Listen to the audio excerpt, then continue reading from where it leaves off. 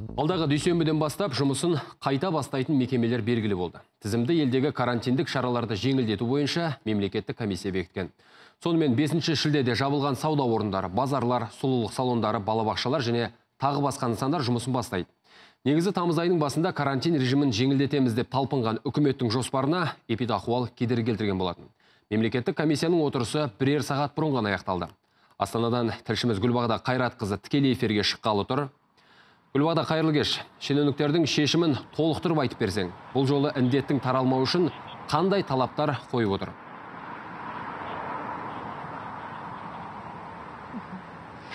Рахмет асыл, армағайын, я санаулы сағаттар бұрын мемлекеттік комиссия отырысы өтіп, шенеуніктер карантиндік шараларды жеңілдетуге келісті.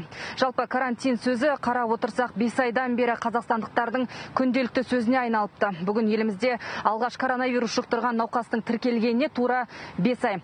Алдымен азғана індеттің хронологиясын еске түсірейік. 16 наурызда мемлекет басшысының жарлығымен елде төтенше жағдай жарияланды. Ә, президент кейін оны екі рет созды, ал 11 мамырда мамырдан бастап төтенше жағдай алынса да карантин сақталған болатын. Десек те қауіпті кесел қайта өршіп ел билігі алты аптаға карантинді қатаңдатып қайта ұзартты. Бүгінде қазақстанда коронавирус жұқтырғандар саны азайған.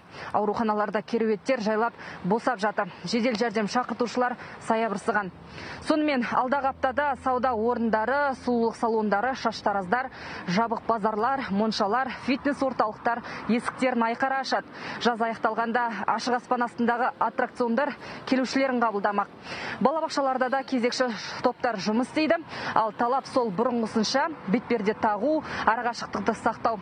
Адам нөпірі көп болмауы тиіс бүкіл діни мейрамды мешітке бармай өткізген жамағат 17 тамыздан кейін де құлшылық ете алмайды.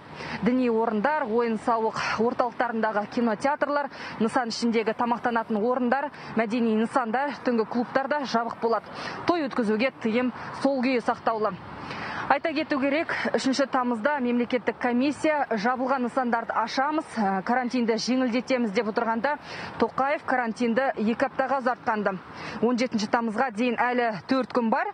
Оған дейін тағы өзгеріс болмаса болғаны студия мендегі бар ақпарат осындай. Рахмет Гүлбағда.